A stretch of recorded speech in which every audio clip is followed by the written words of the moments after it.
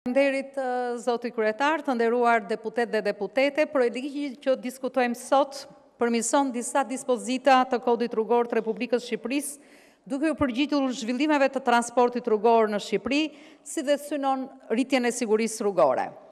Parandalimi më efikas i aksidenteve rrugore dhe përshtatja e ligjit me përmirësimet e sistemeve të brendshme ose të kalimit në shërbimet online që ofrohet qytetarëve, Janë përparësi për sigurinë rrugore dhe jetën e tyre.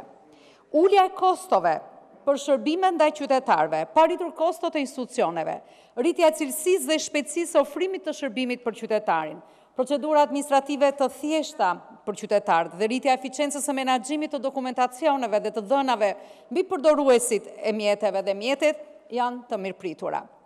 Të nderuar përdorues të rrugës, drejtues mjeti ose këmbësorë, pavarësisht moshës, me ndryshime që miratohen sot në Kodin Rrugor, ashpërsohen masat për drejtuesit e mjeteve që shkelin rregullat e qarkullimit rrugor kryesisht për drejtimin e automjetit pas përdorimit të alkoolit, për përdorimin e alkoolit dhe drejtimin e mjetit në mbrëmjet, ditët dhe mbrëmje, në fundjava, për përdorimin e celularit ose në raste ju kryeni shkelje të përsëritura.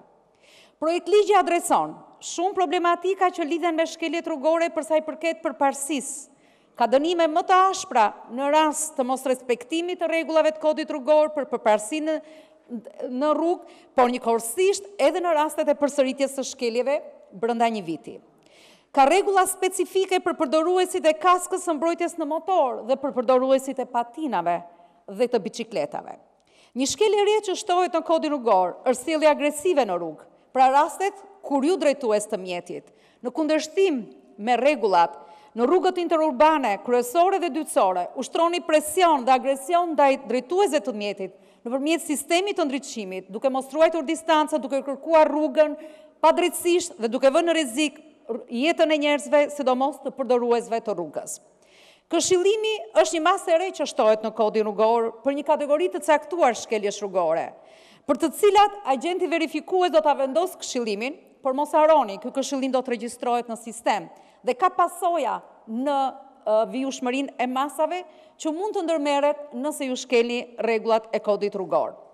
Projektligji i propozuar synon të ripërcaktojë afatet dhe frekuencën e kryerjes së kontrolleve të teknike të mjeteve, kur mjetet janë mjete të reja ose të përdorura. Kjo është një lehtësi për shumë nga drejtuesit e mjeteve lidhur me afatet dhe frekuencën e kontrollit teknik, por kjo nuk do të thotë që gjendja teknike e mjetit nuk duhet të mirëmbahet nga drejtuesit dhe përdoruesit e mjetit.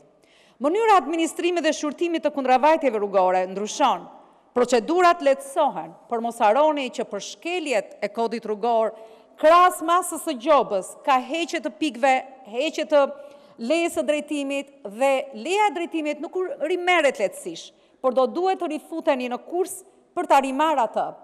Gjithashtu, duke vlerësuar rëndësinë e edukimit ligjor të qytetarëve në lidhje me sigurinë rrugore dhe për të siguruar cilësinë e këtij edukimi, projektligji që miratojmë sot parashikon botime të materialeve didaktike për sigurinë rrugore dhe aftësim të njohurive teorike-praktike të kandidatëve, manuale teorike, udhëzues praktikë, broshura. Pra i vjen fundi asaj tollovie dhe asaj kakofonie në në lidhje me shkolla dhe autoshkolla që ofrojnë shërbime dhe materiale që janë në treg për edukimin ligjor qytetarëve, të gjithë përdoruesve të rrugës, drejtues mjeti apo këmbësor. Por masa specifike ka edhe për këmbësorët. Masat e dënimit administrativ rriten. Pra, vëmendja është jo vetëm tek përdoruesit e mjeteve, por edhe këmbësorëve. Të nderuar kolegë dhe kolege, të nderuar ministra të ministrive respektive të Infrastrukturës dhe të Arsimit. Kodi Rrugor ka ndryshuar dhe me ndryshimet e sotshme përmirësohet. Ajo ka shumë rëndësi është edukimi i përdoruesve të rrugëve. Këmbësorëve dhe drejtuesve të mjetit, pavarësisht moshës dhe vendbanimit. Ka nevojë për më shumë programe praktike për edukimin e fëmijëve, në kopshte dhe në shkolla. Ka më shumë nevojë për informim dhe këshillim të këmbësorëve.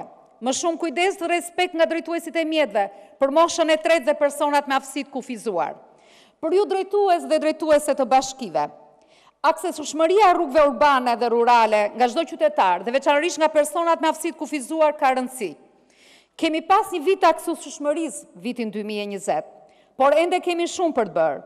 Ju inkurajoj të vijoni me ritme më të shpejta, për përshtatjen e infrastrukturës për adresimin e nevojave dhe rritjen e aksesueshmërisë për drejtuesit e mjeteve me aftësi të kufizuar, por dhe për këmbësorët.